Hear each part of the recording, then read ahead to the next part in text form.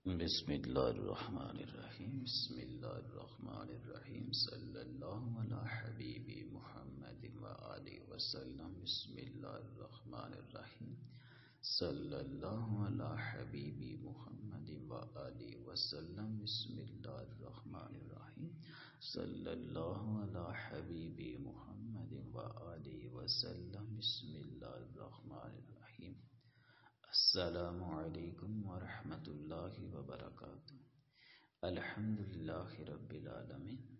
اللہ سبحانہ و تعالی کا بے حد کرم بے حد فضل بے حد شکر۔ جنہوں نے موقع اور توفیق عطا فرمائے زندگی کی بے شمار نعمتیں عطا فرمائی۔ اللہ سبحانہ و تعالی سب کی زندگیوں میں آسانیاں پیدا فرمائے، تمام بیماروں کو شفائے کامل عاجلہ عطا فرمائے۔ تمام پریشان حالوں کی پریشانیاں اپنی رحمت کے صدقے دور فرمائیں، امت مسلمہ کی خیر فرمائیں۔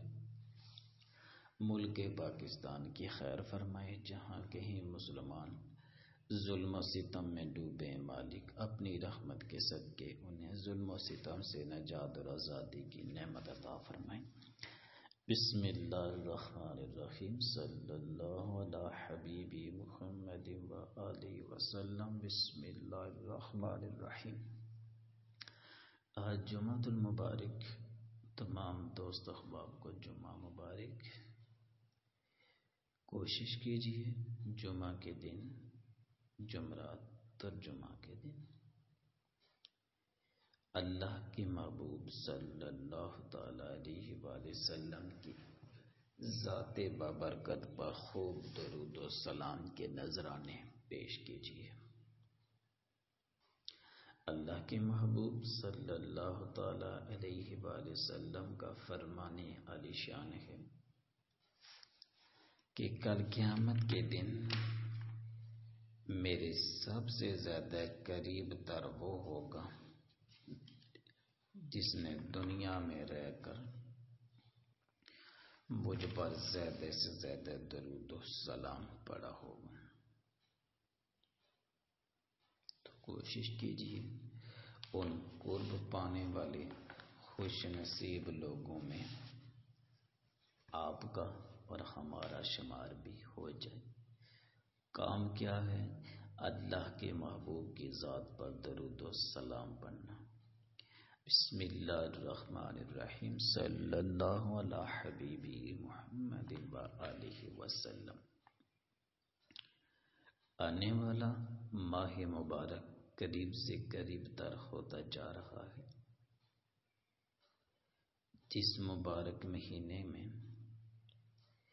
اللہ رب العالمین اپنے محبوب کے غلاموں کو بخشش، مغفرت کا ایک بہانہ دیتے ہیں۔ اور اکثر عبادات میں لوگ یہی کہتے ہیں کہ شیطان کی وجہ سے، شیطان نے نہیں آنے دیا۔ مگر یہ وہ ماہ مبارک ہے آنے والا کہ اللہ رب العالمین شیطان اور اس کے جیلوں کو پہلے ہی بند کر دیتے ہیں۔ سنگلوں سے جکڑ دیتے ہیں تاکہ میرے بندے کھل کر میری عبادت کر سکیں۔ اور اس آنے والے ماہ مبارک کی شان کیا ہے؟ مالک نے اس ماہ مبارک کو کیا عظمت عطا فرمائی؟ اللہ رب العالمین کا۔ جتنا بھی شکر ادا کیا جائے، کم ہے۔ کروڑوں ہاؤس کا احسان ہے کہ اگر یہ ماہ مبارک اس سال پھر ہمیں نصیب ہو جائے۔ یہ مالک کا بہت بڑا احسان ہے کہ رمضان مبارک جیسا مہینہ ایک مرتبہ پھر ہماری زندگی میں ہمیں نصیب ہو جائے۔ ماہ رمضان مبارک کے فیضان کے کیا کہنے؟ اس کی ہر گڑی اللہ رب العالمین کی رحمتوں سے بری ہوتی ہے۔ ہر لمحہ، ہر ساتھ اس میں اللہ رب العالمین کی رحمتوں میں، برکتوں میں اضافہ ہی اضافہ ہوتا جاتا ہے۔ اس مہینے کی عظمت کا اندازہ لگائیے کہ اجر و ثواب بہت ہی زیادہ بڑھ جاتا ہے۔ مالک اتنا خوش ہوتے ہیں اس ماہ مبارک میں کہ رمضان المبارک اللہ رب العالمین کے ویسے تو سارے مہینے، سارے دن سب کچھ مالک کا ہے، مگر رمضان مبارک کے بارے میں اللہ رب العالمین نے فرمایا کہ رمضان میرا مہینہ ہے۔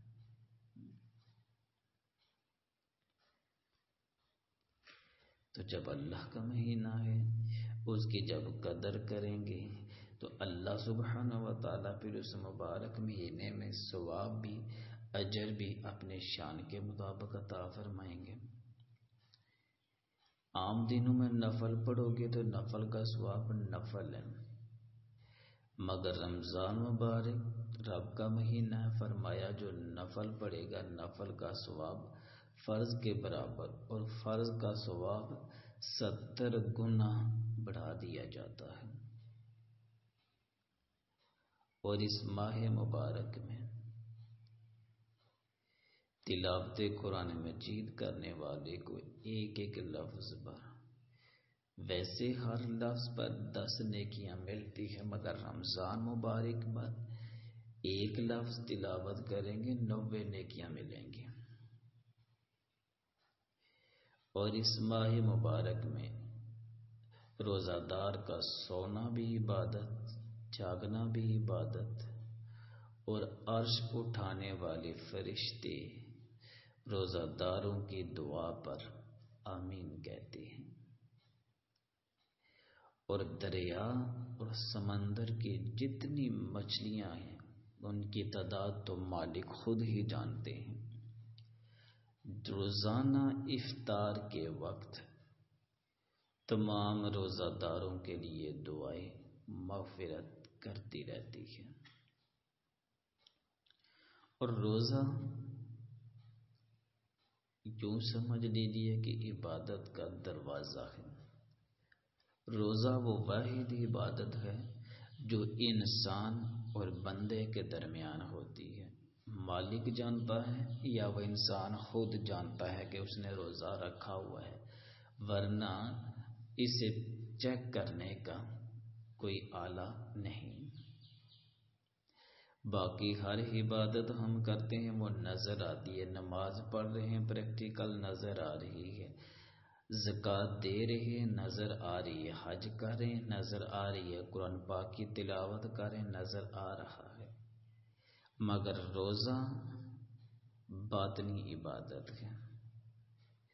ہمارے بتائے بغیر کسی دوسرے کو یہ علم نہیں ہو سکتا کہ ہمارا روزہ ہے۔ اللہ سبحانہ و تعالیٰ کو باطنی عبادات سب سے زیادہ پسند ہیں کہ چھپ کر عبادت اس کی کی جائے۔ اور روزے کو عبادت کا دروازہ قرار دیا گیا۔ اور رمضان مبارک کا مبارک مہینہ، جس کا ہر لمحہ رحمت اور برکت کا نزول ہی نزول ہے۔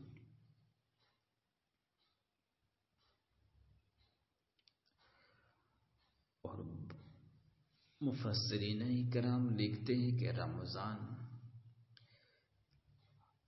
بعد مقام مقام پر فرما دیں، یا تو یہ رحمان یعنی اللہ جل کا نام ہے رمضان اس لیے اس میں اتنی برکتیں اور عظمتیں ہیں۔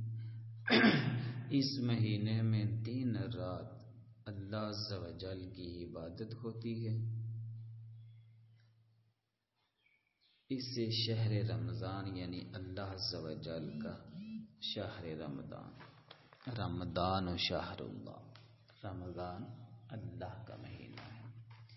اللہ زوجل کا مہینہ کہا جاتا ہے۔ جیسے بیت اللہ کو اللہ زوجل کا گھر کہتے حالانکہ ہر مسجد اس مالک کا گھر ہے، مگر بیت اللہ کو خاص نسبت حاصل ہے کہ اسے اللہ کا گھر کہا جاتا ہے۔ اور وہاں پر اللہ سبحانہ و تعالیٰ کی عبادت کی جاتی ہے۔ ایسے رمضان بھی اللہ سبحانہ و تعالیٰ کا مہینہ ہے۔ اور اس مہینے میں اللہ سبحانہ و تعالیٰ کے ہی کام ہوتے ہیں مالک کو یاد کیا جاتا ہے۔ روزہ، تراویح، ہر حال میں اللہ سبحانہ و تعالیٰ کی عبادت ہوتی ہے۔ اللہ سبحانہ و تعالیٰ یہ مبارک مہینہ ہم سب کو نصیب فرمائے اور اس میں ہم سب کو بڑھ چڑھ کر اپنی عبادات کرنے کی توفیق عطا فرمائے اور کوشش کیجیے، جو صاحب نصاب لوگ ہیں، مالدار لوگ ہیں، وہ اپنے سفید پوش دوستوں، رشتہ داروں اور غریب لوگوں کا اور اپنے آس پاس رہنے والے پڑوسیوں کا خاص خیال رکھیں۔ السلام علیکم ورحمۃ اللہ وبرکاتہ۔ میرا کو